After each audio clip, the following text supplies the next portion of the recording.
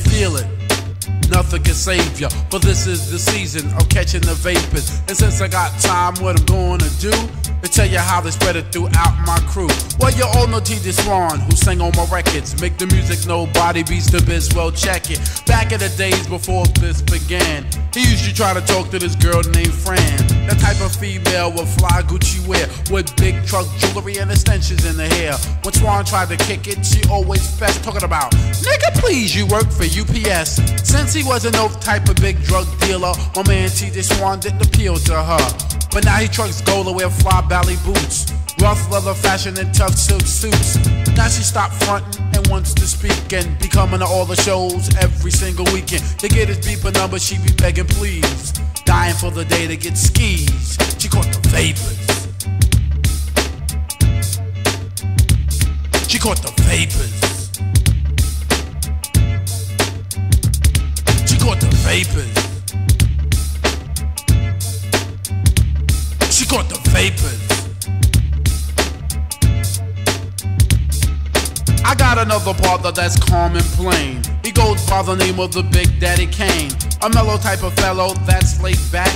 Back in the days, he was nothing like that.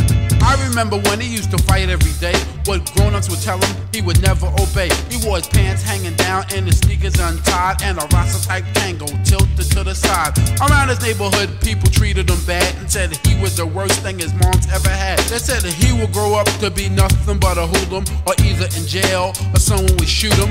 But now he's grown up to their surprise. Big Daddy got a hit record selling worldwide. Now the same people that didn't like him as a child be saying, Can I borrow a dollar? Ooh, you're a star now. They caught the vapors.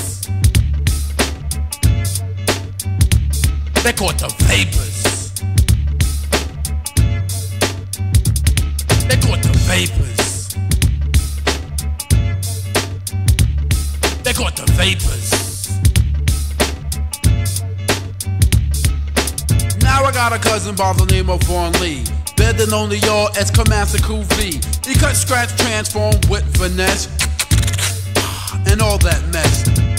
Remember when he first started to rock and tried to get this job in a record shop. He was in it to win it, but the boss fronted said, Sorry, Mr. Lee, but there's no help wanted. Now my cousin Vaughn still tried on and on and on till the light break of dawn. To put this JOB in effect, but they'd look right past him and be like, Next! Now for the year of 88, Cool V is making dollars, so my cousin's like straight. He walks into the same record shop before, and the boss be like, Vaughn, welcome to my store. Offering him a job, but nah, he don't want it. Damn, it feels good to see people up on it. Cause I remember when, at first they wasn't. Now, guess what they caught from my cousin? The vapors. They caught the vapors. They caught the vapors. They caught the vapors. Subject of the story is about Biz Mark. I had to work for mine to put your body in park.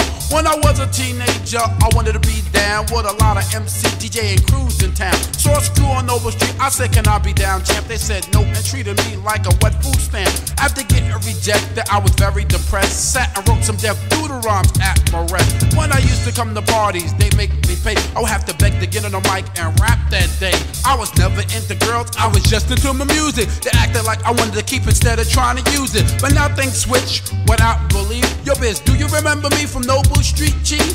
We used to be down back in the days. It happens all the time and never cease to amaze. They caught the vapors. They caught the vapors.